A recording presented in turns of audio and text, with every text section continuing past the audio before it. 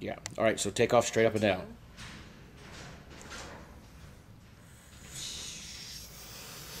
And now shoot away. And fly around.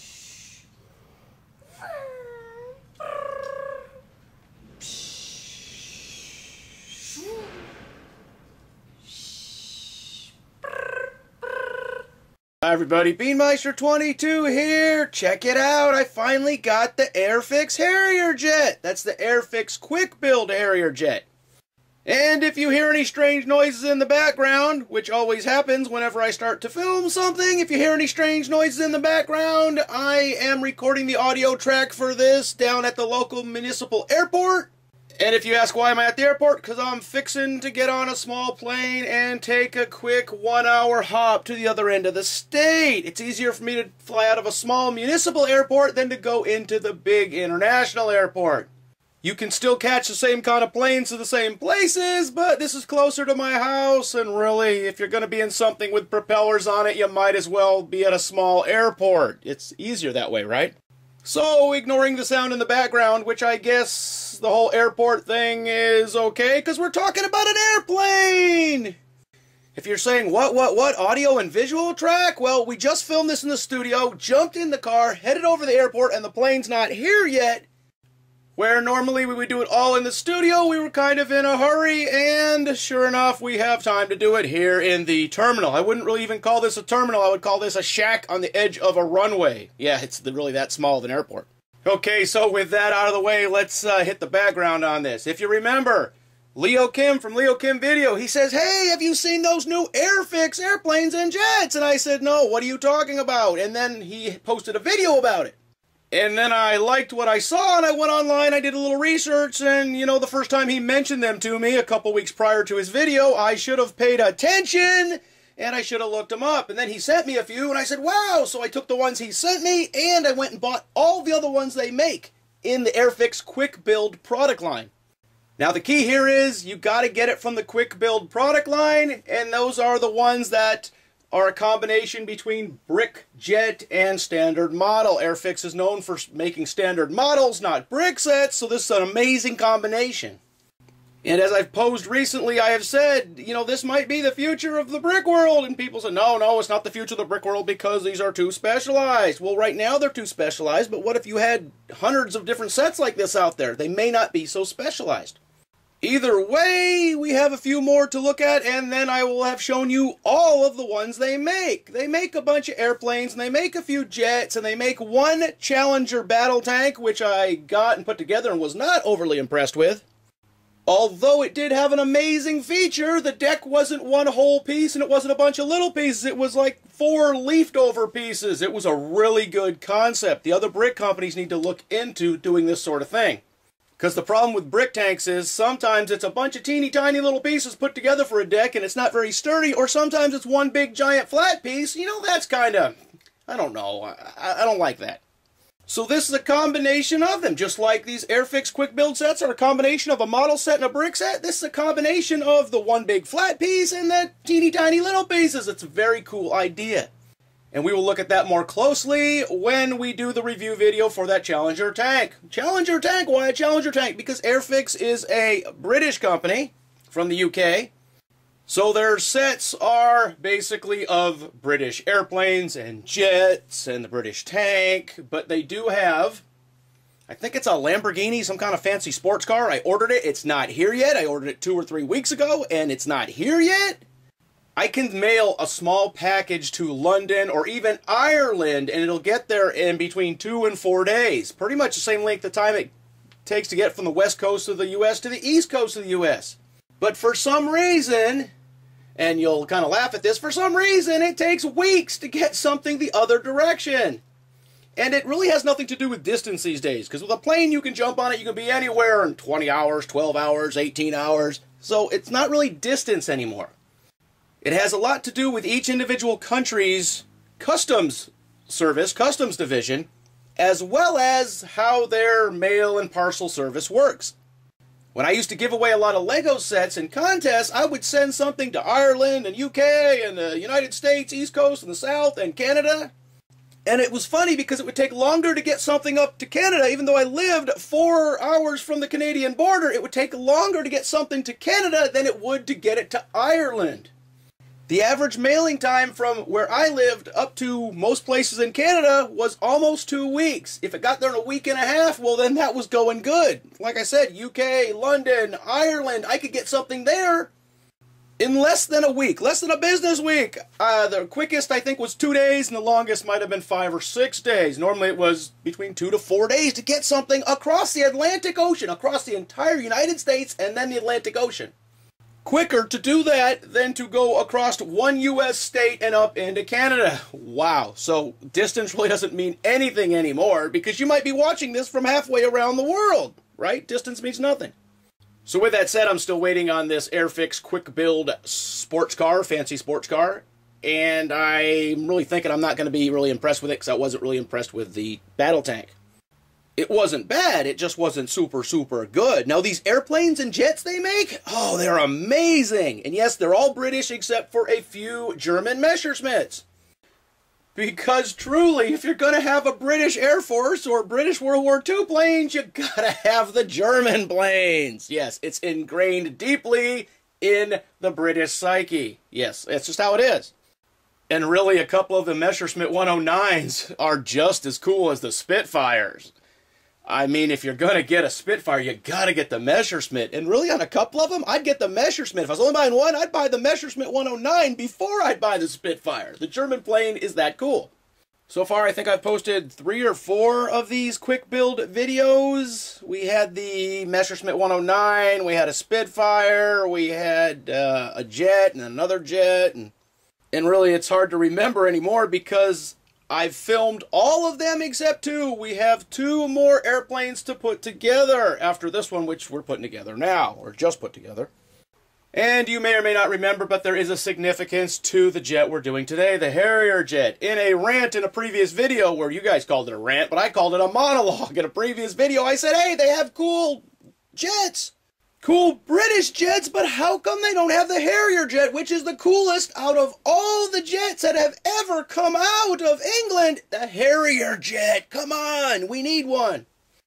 I looked all over Amazon, I looked all over the online retailers, and I could not find one. They just don't make it. And then I happened to be on the Airfix Quick Build website, and I found it. And as luck would have it, pretty much at the same time as I was there, two different people sent me emails and said, hey, they got a Harrier jet. And I had to say, yeah, I know, I found it 37 seconds ago. But really, it was about the same time I get these emails, and I think even a comment or two saying they do make a Harrier jet. The same time I found it, I get these in. So first off, thank you out there viewers for letting me know because I had to have this and I saw it online and then I ordered it and bam, I got it. Granted, it took a week and a half to get it, but then again, it sat here for another couple weeks before we even started building it. And why do I think the Harrier jump jet is the best jet out there, the best one that came out of the Britain or the UK? Well, I'll tell you. Well, you guys know I was a U.S. Marine, and the U.S. Marines fly the Harrier jets because they can take off straight up and down. Now, not all of the Marine Corps jets that are flown in the Marine Corps, not all of them can do that. And, you know, we're big on helicopters in the Marine Corps and the V 22 Osprey, the big helicopter transport airplane thing that can take off straight up and down. You need a jet, can do that too, right? And really, it's all about close air support and short runways, and you can be out in the bush in a field and have just a little bit of a clearing, and you can get air support down there. They can, they can fly around and shoot at the bad guys. They can land. They can get refueled. It's all about close air support which when compared to the U.S. Air Force, they will provide close air support, but really not in the same way. That's a whole different division of the military, and the Marine Corps flying their own jets to protect their own ground troops. And these Harrier jets really are amazing. Now, when it comes to this set, it was like pretty much every one of these quick build sets. It's going together easy, except this one had a little glitch on it. My lovely assistant, she couldn't get the wing pieces together. So I'm behind the camera watching and watching and watching and, you know, come on, get it together. You, have already built a bunch of these. How come you can't get this one together? What's wrong? And she's trying and couldn't do it. And finally we had to stop the camera and I had to go look at it because I was just itching to get in there and just fix it. And then I saw what the problem is. Oh, that's mighty peculiar. And I had to really mess around with this for almost, I don't know, almost five minutes, probably about three and a half, four minutes till I figured it out. It was pretty tricky. On the top and the bottom half of the wing segments, up at the leading edge where you would normally, you know, crimp that down, it looked like it goes in there, but that's not what holds it. You actually have to press it from pretty much in the center because that's where it's holding it mostly. If you try to lock it down on the inside edge first, down by the center, it's just going to keep falling off and you'll never figure it out. So you, I squeezed it from the middle and sure enough it stayed. I said, what? And then I popped the other edge in. It was just pretty much order of operations. Do this part first and then this will work. Don't do this part first. You will get mad and throw it on the ground and stomp on it. It was bizarre because it's the first time we've ever experienced this in any of these quick build sets. And if you haven't seen the instructions for these quick build sets before, there really isn't a lot of writing on it. You know, the picture, do this, do that, do this, do that. This is something they really need to put a note. Make sure you press in the center first, or have a picture of fingers or a thumb and a finger pushing that together first. So, except for that little challenging twist, this was just as easy as all the others, and it looks just as cool.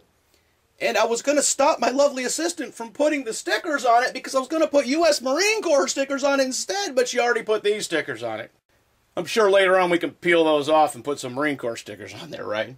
As you guys know, I'm collecting the Bestlock Daron passenger jets, and it would be amazing if Airfix would make passenger jets because I'd just throw those other ones away. But I am almost done with those Daron Bestlock jets. There's only two or three more. The Continental jet is already filmed and ready to go. The Qantas jet still has not arrived from Australia. I paid a lot of money for it, and it still isn't here yet.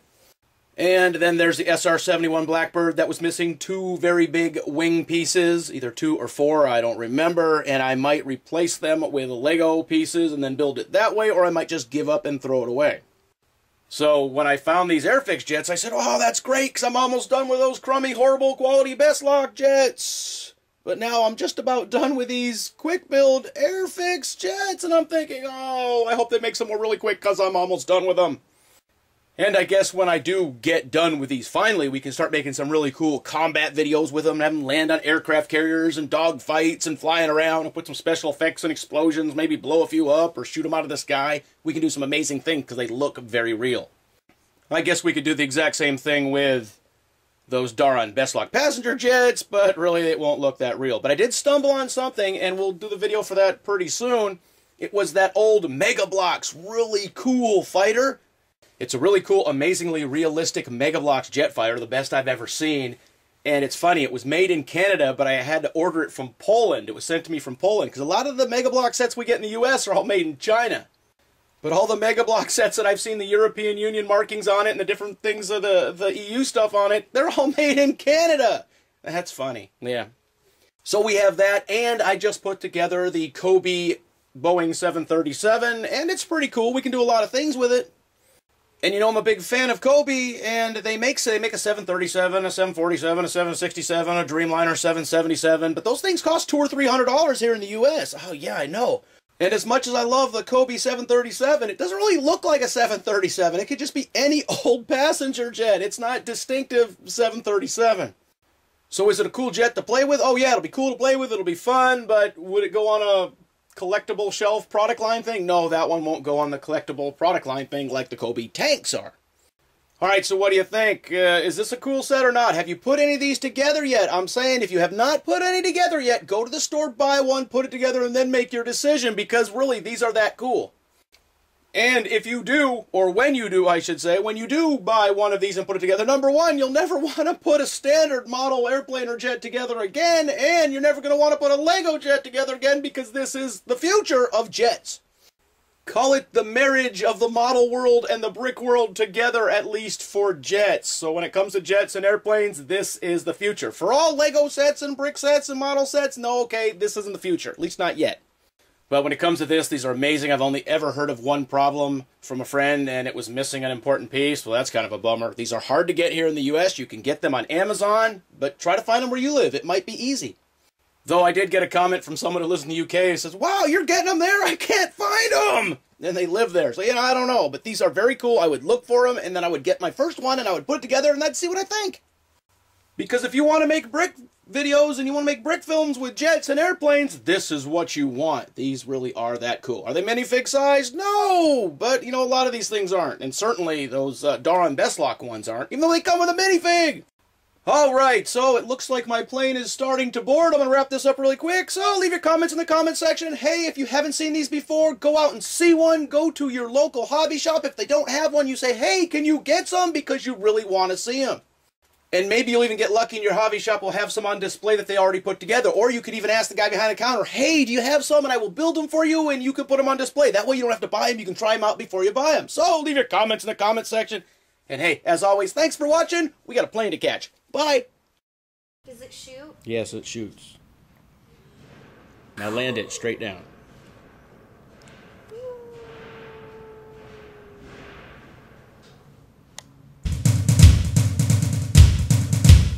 Beanmeister 22, the most dangerous man on YouTube.